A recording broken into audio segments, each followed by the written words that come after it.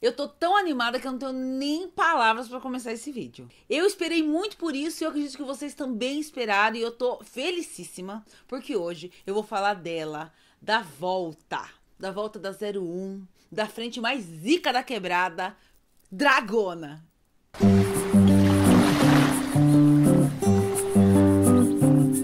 Eu sou a Vivi Lima, comigo tá tudo bem, eu espero que com você também esteja tudo bem. Antes de começar esse vídeo, bem rapidinho, vou pedir pra você, se você ainda não é inscrito, se inscreve agora no canal, aciona o sininho pra não perder nenhuma notificação e me acompanhe nas minhas redes sociais.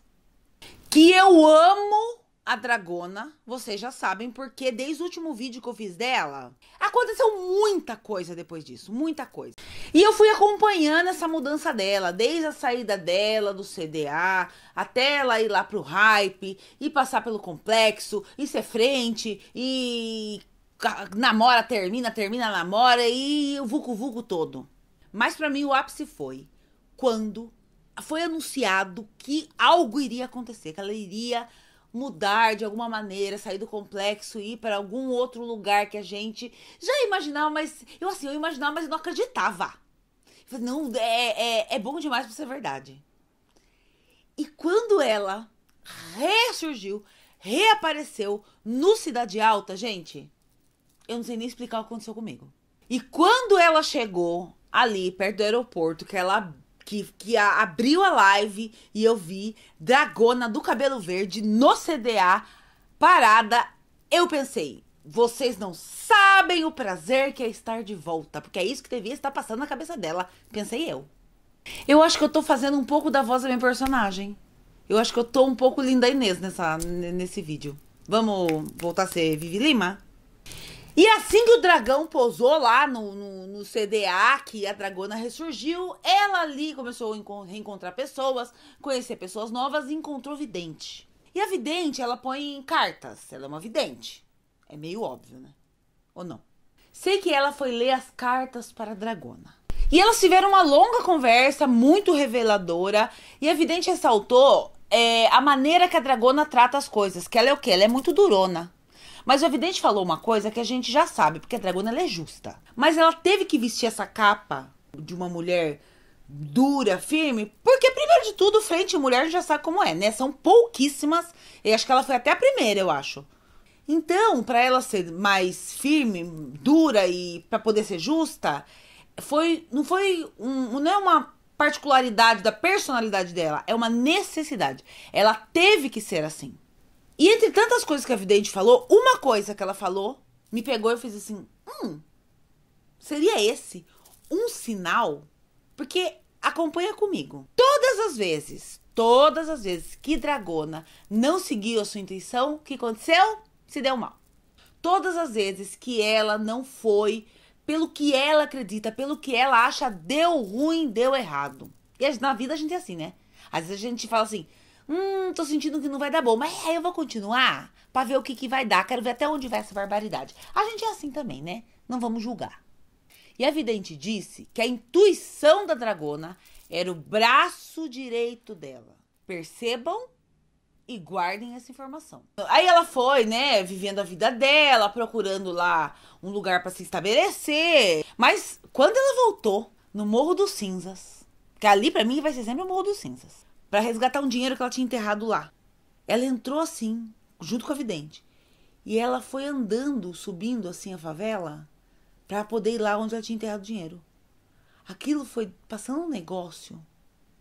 Um negócio na minha cabeça. Pensei que passava um filme de tudo que aconteceu lá naquela favela, quando ela era à frente. E me deu uma nostalgia tão grande, tão grande. Aí ela entrou na facção dos roxos, que era do cunhado dela. E lá, né, a gente gostou da resenha que ocorria na favela. Ela já era 02. E tava indo lá na humildade, um sapatinho. Como Dragona sabe entrar e sair de um lugar, né? E assim, foi conhecendo as pessoas tal. E ficou um dia lá que eu amei esse RP. Que foi que ela tava com o trelelê com o Nescau. O Nescau é um cara, aquele gado das meninas, aí manda mensagem assim. É, Ai, vamos sair para comer uns vinhos e tomar uns queijo. Ele sempre manda essa cantada para qualquer menina que ele conheça. Sempre, é a mesma. E ele já sabia que tá lidando com a dragona, né? Então ele já chegou como? Ele já chegou assim, tipo. Mais realista, vamos dizer, sem ser tanto gadeiro. E Dragona foi e tal, tava num trelelê, tava começando um negócio. Só que, vou falar uma coisa, homem, quando vai fazer as coisas, gente, eles não têm a sagacidade da mulher.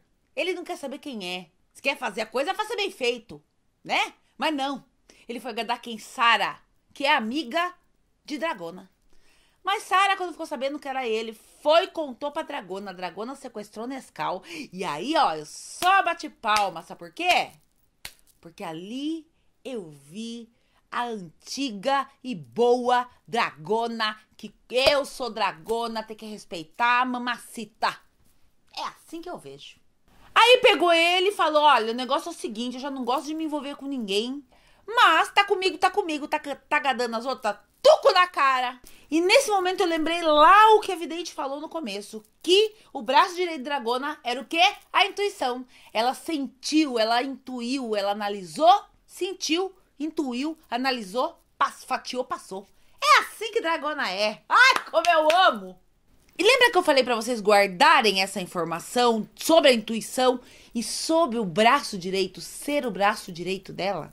Quem que tem braço direito? Se não é a dona? se não é a 01, se não é o que Dragona é e sempre foi por onde ela passou, tendo o título ou não, à frente, a dona de tudo. Dragona já não estava muito satisfeita ali nos roxos, gostava do pessoal, mas tinha algumas coisas que já não estava não tava cabendo nela, entendeu? Ela precisava, gente, ela precisava e a gente também precisava, a gente também queria, a gente clamava, a gente pedia mentalmente, mas pedia. Ela saiu pela porta da frente, ela reuniu seu pessoal antigo e pessoas novas também. Começando pela sua braço direito, Kylie. A Kylie é óbvio que a Kylie aceitava, né? Óbvio. Porque a Kylie é o quê? A Kylie é, é com a Dragona ali, fechamento. E a gente sabe disso. E em menos de três horas, Dragona já estava com a sua galera, os Árticos, instalado em uma favela. Agora, se isso não é ser a dona da bagaça toda, eu não sei mais o que é. Aí foram colocar aquela mochila antiga. Antes daquela personalizada que tinha o dragão, que era cinza e preta, antes daquela, tinha uma que era verdinha que tinha o, dragãozinho. Aí colocaram aquela mochila e eu, ai gente, que sensação gostosa! E assim renasceu os Árticos. Árticos 2.0. E sabe o que eu gosto, assim, do jeito que a dragona leva as coisas, como a 01 que ela é.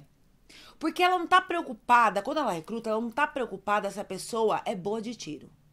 Ela não tá preocupada se a pessoa é boa de fuga, porque é isso que geralmente, né, acontece em favela. Ela tá preocupada se a pessoa é fechamento. Ela tá preocupada se a pessoa é resenha. Ela tá preocupada se a pessoa vai fechar com todo mundo da família e quer estar ali, porque é isso que a gente quer ver. E, e isso ela sempre soube fazer, ela sempre soube muito bem levar e ser generosa com o RP do outro. Isso que eu acho incrível também. Ela é generosa com o RP do outro. Ela não busca só o protagonismo do RP. Ela também, às vezes, se coloca no papel de coadjuvante para dar protagonismo para outra pessoa, porque isso também rende para ela e rende para a pessoa. Eu acho isso maravilhoso. São poucas pessoas, são poucos personagens que são direcionados assim. E é isso. Ah, e o beijo hoje vai para Thay e Tainara, vida e vidinha. Beijo.